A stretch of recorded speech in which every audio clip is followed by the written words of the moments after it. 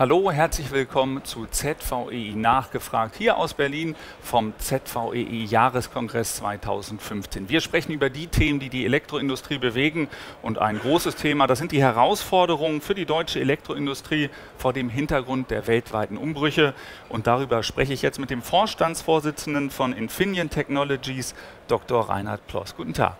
Grüß Gott. Ja, es gibt jede Menge globale Herausforderungen. Wir haben den Klimawandel, wir haben eine alternde Gesellschaft, wir haben Bevölkerungswachstum. Ist das eine Chance oder ist das eine Bedrohung für die deutsche Industrie?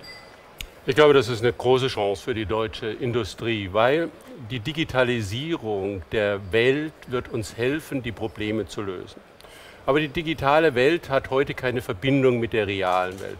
Und da ist unser Potenzial vorhanden. Wir können als deutsche Industrie sehr gut die reale und digitale Welt verbinden. Äh, was bedeutet das? Sie müssen letztendlich Geräte haben und ein kleines Beispiel dazu, der Rasenmäher, der automatisch über ihre Wiese fährt, sich selber zurechtfindet und den Rasen immer schön kurz hält, das ist zum Beispiel ein solches Gerät. Und wenn der dann noch mit der digitalen Welt redet, ob sie hier jetzt gießen müssen oder ob sie düngen müssen, dann entsteht ein System, wo sie mehr draus machen als nur den Fahnenroboter. Und da gibt es sehr viele Potenziale. Energieeffizienz ist eines, das Energienetz der Zukunft wird ja sehr viele Lieferanten und sehr viele Nutzer haben. Dies verbinden zu können, ist eines der ganz großen Themen. Sie haben es eben angesprochen, die reale und die digitale Welt wächst weiter zusammen. Welchen Beitrag leistet denn da genau die Elektroindustrie? Die Geräte, die die Sensoren haben, die die Daten von den Sensoren weiterverarbeiten und an die digitale Welt weitergeben und von der digitalen Welt hören, was jetzt am besten zu tun ist und das wieder in Aktion umsetzen. Das ist die Kernkompetenz der deutschen Industrie. Industrie 4.0 ist genau in dieser Richtung, wo man sagt, wir sind intelligente Automatisierung, wir verknüpfen unsere Fertigungen, aber auch das selbstfahrende Auto als Fernziel ist genau ein solches Gerät. Es strotzt ja nur von Sensoren und wenn man selber lenken will oder das Lenken dem Auto überlässt, dann, dann brauchen Sie dort den Motor, der das macht. Sie haben es eben auch angesprochen, Digitalisierung ist ein ganz zentrales Thema und demzufolge auch die Datensicherheit. Wie anfällig ist denn die deutsche Industrie für Cyberangriffe? Äh, die Bewusstsein über die Ris das Risiko, dass Cyberangriffe vorhanden sind, hat in der letzten Zeit stark zugenommen. Aber ich glaube, wir müssen hier noch sehr viel tun, um Cybersecurity, also erstmal den Schutz vor Angriffen äh, herzustellen. Und viele Industrien, viele Firmen haben reagiert, aber besonders der Mittelstand und die kleineren Unternehmen sind dafür nicht gewappnet.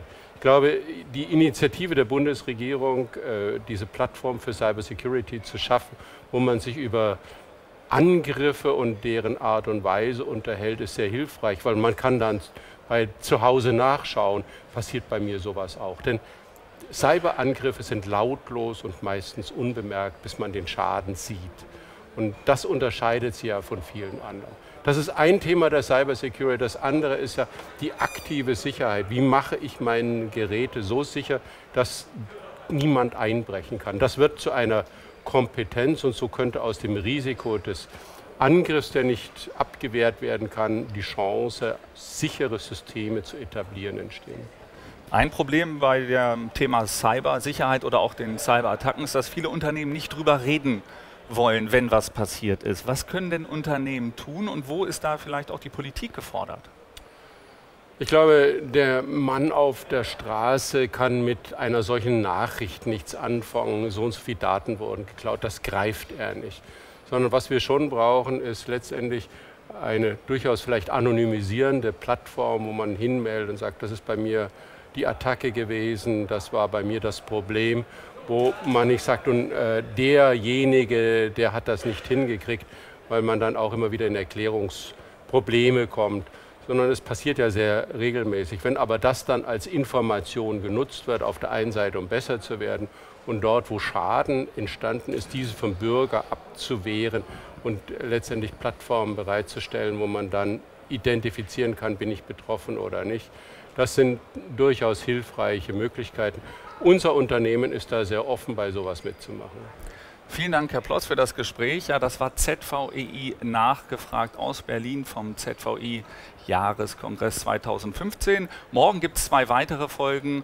Dann sind die Themen Industrie 4.0 und Digitalisierung.